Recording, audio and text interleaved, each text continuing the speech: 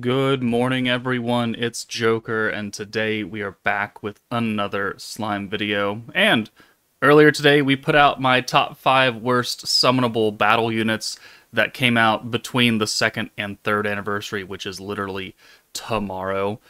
So, figured we'd do the same thing with uh, the top five worst protectors to come out in between the second and third anniversary. Now, this. Uh, yeah there's a lot less protectors that come out. You know, it's one a month versus at least three battle units, so the pickings are quite slim, and five is almost half of the protectors to come out. And to be perfectly honest, most of the protectors that came out in 2024 ish have been fairly solid, if not very generic or very powerful in their own rights. They they've been fairly good, but there are a few standouts that just don't cut it. And whether or not that's because they came out a year ago and they've aged, or because their gimmick is stupid, you know, there there's a number of reasons. So uh, some of these have caveats. I think these have more caveats than maybe the battle units because those are very very locked to the protector. So I, think number five and number four will be. Mm, you could debate them, but the top three I'm pretty solid in. So let's just go ahead and jump in. All right, the top five worst protector is New Year's Blessings. No, I'm kidding. no, no, I'm, I'm, I'm, I'm very much kidding there. Uh, it's actually going to be Coleus Lumi, the the second anniversary protector, and this is probably going to set a number of few people off. But just just hear me out, okay? She is a good protector when you need synergy. That's it though. Like she is the baseline. I need synergy rate. Okay, you can have synergy rate. She's stacking on Visions of Coleus and Octagram Demon Lord, which Visions of Coleus is never getting another unit unless they do some kind of sequel to Visions of Coleus, which I really don't think so. I really don't think that's happening. So she's buffing a team that's never going to get another buff again. She is a traditional stacking blue character, fine. And then she's giving 12% attack, which is fairly standard. She gives you guaranteed synergy, and then she raises your skill points cat or skill points on blues by 100 up to 500. These are all very basic things. And in in the event where you don't want to use synergy, then you get 12% stacking attack. Now, the Visions of Coleus team, when fully put together, does a lot of damage. It it did a whole butt ton of damage, and it's still a really good team I think that's more because of the battle units, Blanc and Violet and Rainbow Orb Rimuru. Like these are very solid characters, and then Jean being the single target DPS with a 170% ult and 30% synergy power. It's like that that's really a lot of damage. But if you were to just not use them and just bring Lumi as a normal stacking protector, especially in a fight where they nerf synergy, she's not gonna work. And you take this away and she's very, very basic. Synergy is a good buff, but if you remove this, she's not really doing much, and she's only doing a little bit for one primary team, which is getting buffed because we just got the new guy in Milim, Octagram Demon Lord units. But Visions of Coleus is just never seen the light of day again as far as new summonable units is concerned. So I think that's why she's number five. All right, number four worst protector to come out. I'm kind of flip flopping a little bit. I'm gonna put Maribel.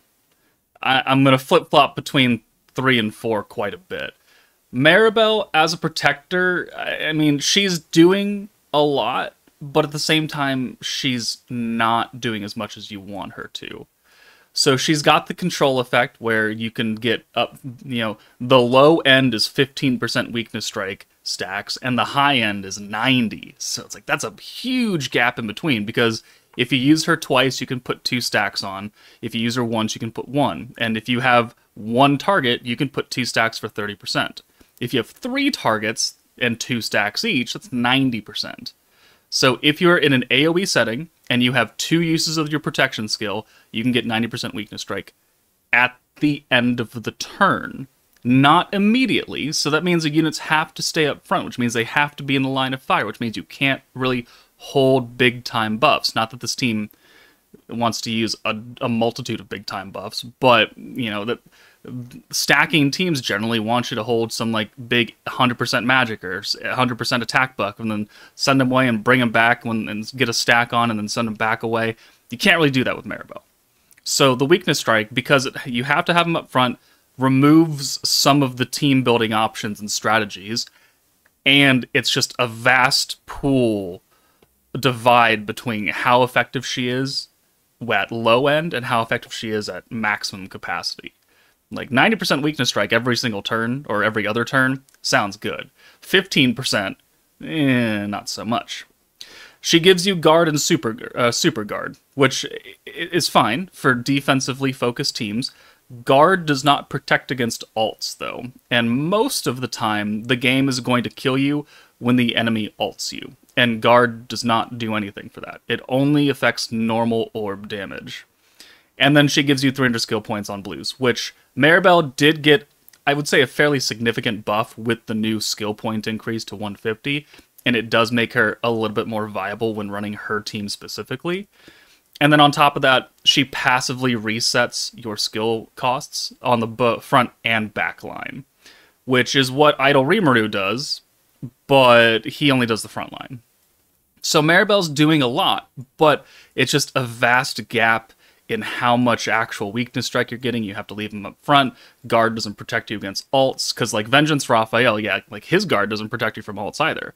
But he also has 50% element resistance, and he seals attack, crit, and pierce, which will protect you from a lot of enemy alts.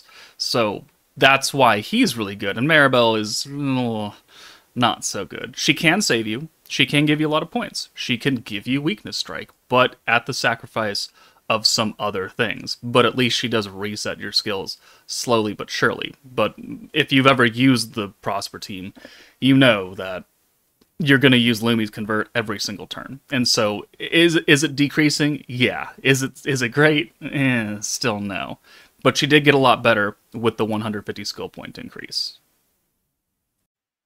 The number three worst protector to come out, in my opinion, and these are all my opinions, and I know a lot of people have opinions on my opinions, is going to be Trainee. Tempest Elite Trainee. She's just she's not not good. She, she's she's not like you, you look at her and you'd be like, oh, you get an EX alt every single time you use her. Well, that sounds nice. Okay, cool. It's the highest attack, so if you mess up and you leave some unit and you don't want it, all right, well you gave them the alt instead, which is just a misplay. She gives you a 70 point, 70% skill point increase versus Maribel's 300, so that's already not great. And then she's got the stupid freaking follow up orbs, which is just probably one of the worst mechanics ever to come out in this game, and they're they've tripled down on it now between Goddess of Destiny, this trainee, and then the Protector of Peace, Shion it's just eh, it's so very unnecessary for most of the game and the damage output is not what you want unless you're literally doing millions upon millions of damage which you can do with a better team but this trainee she gives you 30 skill points uh, you know every turn and up to turn 5 just like all the other burst protectors do like that's fine um, this is way too low this uh, you know is is a gimmick. Like yeah, you can get a really quick alt. You can also do that with EX orbs or uh, not not EX orbs, but rainbow orbs. Oh, sure, okay, whatever. Like we don't really have problems rushing alts. Like this will get you a lot of alt very quickly.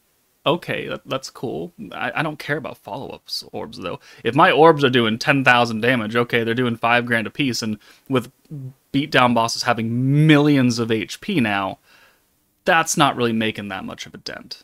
And then the alt damage is 20%, which if you use Trainee in like a fire team with burn and you have these fire orbs and Rimuru or some fire unit is doing you know 20 bajillion damage. Like yeah the burn the follow-ups will do a bajillion damage and the burn will kick in and yeah cool whatever. That's very specific though. Very very specific. And i already put Rimuru as my number one worst unit of last of this year. And it makes sense that Trainee would be in this list as well. I'm just not overly impressed with her, and I never really use her because in Jubilee, like normal battles, when you need extra damage against Earth, like I'm not bringing Trainee Her follow up orbs mean jack shit. And if I need an EX alt for a fire unit, I'm just gonna bring an orb stealer and a rainbow orb changer, and we're and we're set. So this has no bearing on really anything. She's just not super impressive. The number two worst protector in the game is a very very. It's like uh, it's like Maribel. There's a very large divide of usefulness, and that's going to be Protector of Peace Masayuki.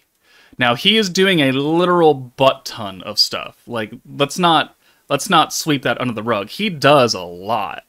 But how good is that a lot, really? Well, uh, it's really debatable on how hard did you did you whale.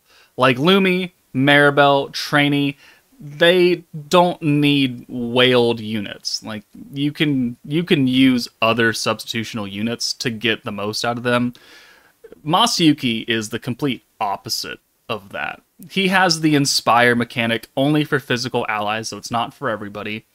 And every time you hit an enemy three times, you get 4% attack.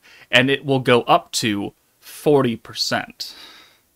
Now, you have to hit the enemy a lot to do this. And the reason why he's so gimmicky is because he requires you to pretty much have the Protector of Peace Shion with the follow up orbs, requires you to have the Protector of Peace Hinata with the triple multi hit on every green orb. Like, that's the only way. And even if you run both of them, you still don't actually ever cap out Masayuki at his full 40%. You need to rewind or get a literal fuck ton of counterattacks. It, it's just, you never max him out. You get to like 36% or something, somewhere close to that. You never actually get to 40, which 36% attack every single turn, eh, you know, is cool because he's allowing you to use skills an unlimited number of times. So you could use a whole bunch of small orb changes that give you stacking crit or stacking ult or whatever, weakness strike. He lowers your skill cost every single time you use him, which means you can use skills over and over and over and over again. He is doing a lot. He's raising your skill cap by 50, just like every other stacking protector. It's just that the difference between a base level Masayuki without his Protector of Peace team versus Masayuki with the full Protector of Peace team is like night and day.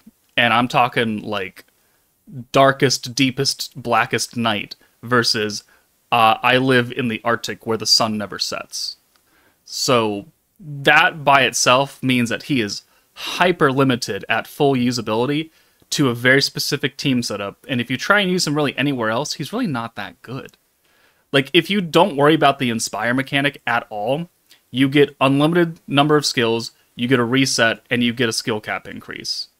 Like that's just heavily inferior to what Overlord Rimuru is doing. Because Overlord Rimuru is resetting your skills when you use them. Okay, he's raising your skill cap. Okay. But instead of having the stupid unlimited number of times you can use a skill, he's giving you 100% up to 5% extra skill points, which means you don't have to bring Protector of Peace Geld to give you the skill points. Like, Rimuru is just doing it automatically. Masayuki, like, this is great and all, but he's not actually giving you extra skill points to get up to his new cap every single turn. You need another battle unit to do that. So he is just heavily limited and heavily locked to running a very specific team. And if you try and run him doing anything else, he's just ass. He's terrible. He doesn't do what you want him to do. And even when you do want him to do this, it's like, that's great, but you need, need, necessary these characters. And they were both on single banners. That's not good value right there. So, Masayuki, second worst protector when he when he's working, he's working, but when he's not working, God, he's terrible. And the number one worst protector in the game has, you know, part of the same gimmick that Masayuki has. Violet. Primal Demon Violet. She is so fucking stupid and useless that I don't know what to do with her. So, it, it's it's strange that Lumi is number five and Violet's number one. Synergy, when you use it, can be really good and very powerful. And there's mo like ninety percent of the game you can synergy. All the early game content where because synergy came out with the second anniversary with the Visions of Coleus team, so that means they didn't start nerfing it until over two years into the game. So everything that came out prior to that, you can synergy all you want, and you're going to do a butt ton of damage. Okay, that's great. That's really good. There's only specific stages now that nerf synergy. Violet, though, she's giving primal demons. So not even two categories, just one category. Primal demon, which we are getting more primal demons, I'll give them that. 12% attack. The same thing as Lumi. They both give 12% attack. Lumi gives it to two different teams, one of which is dead though, and uh, Primal Demon for Violet. She then has the unlimited number of skills gimmick. Oh, excellent. She's meant to be used with uh where are they? Blanc and jean where blanc has zero cost skills and she's doing small tiny buffs over and over again and then jean resets it back down to zero and gives you 300 skill points to allow you to use even more of those skills. And then she's giving you the 100 to 500 percent um, skill point increase and raising your skill cap. Okay. Well that's great just like just like Lumi though, if you take the actual primary gimmick away, the unlimited, unlimited number of battle skills, she's giving you 12% attack to one team and she's giving you skill cap increase. Like whoop de fucking do.